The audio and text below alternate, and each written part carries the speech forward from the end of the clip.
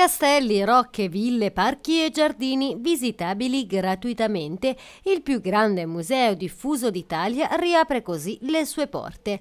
Domenica 21 maggio torna infatti la giornata nazionale dell'Associazione Dimore Storiche Italiane, giunta quest'anno alla sua tredicesima edizione. Su 500 monumenti nazionali, 120 sono in Toscana, distribuiti in tutte le province, 11 ad Arezzo, tra questi anche la Casa Museo Ivan Bruschi in collaborazione anche con eh, l'Associazione Case della Memoria, sono anni che collaboriamo con queste associazioni e proporremo l'ingresso gratuito alla Casa Museo con la possibilità di vedere sia il, la nostra collezione permanente che la mostra eh, La sottilità dell'area eh, con eh, la Fondazione Linari di Firenze che è stata prorogata fino al 31 ottobre. In occasione della giornata internazionale dei musei Casabruschi ha organizzato poi per sabato 20 maggio alle 16 un percorso dal titolo Insolite e sostenibili invenzioni. Un percorso eh, didattico per i bambini in collaborazione con le Gallerie d'Italia di Intesa San Paolo eh, sulla sostenibilità eh, e sugli oggetti scientifici della collezione